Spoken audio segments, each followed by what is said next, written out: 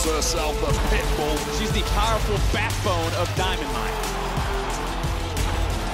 Look at Nile, relentless. All the physical tools, all the drive you could ever ask for.